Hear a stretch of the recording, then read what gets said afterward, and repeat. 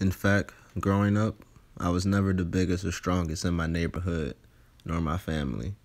This small fact of life has always been the fuel to the fire. Born prematurely and in a small town community of Louisiana, I come from humble beginnings. My grandpa was a trucker, and my grandma was a housemaid who took me under their wing to give me a shot at life. A shot that my parents were not able to give me at the time. Going through grade school, I understood this, and I always worked hard to find my path in life and make the grades I need to succeed. Around sixth grade, I knew that basketball was my calling and it was something I wanted to excel at. But with no parents to teach me, my skills were trash at best.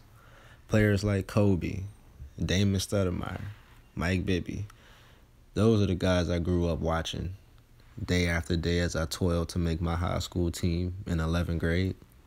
But eventually I quit after my self confidence took a hit.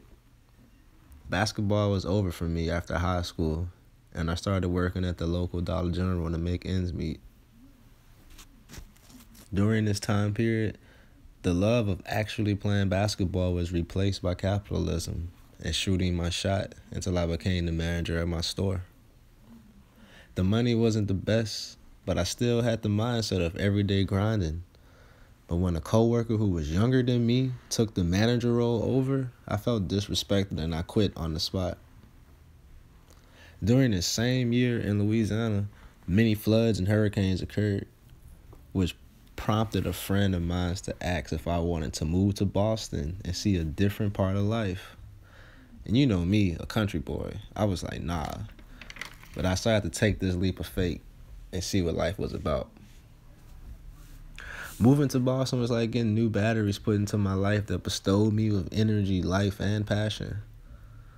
So much so that after playing pickup basketball with a few friends, I found a community college and I joined that team. And not only did I join that team, I became a starter on that team. And I walked my way into being a legit college basketball player with coaches asking me would I play at the next level. You know me asking me, well, do I have a career?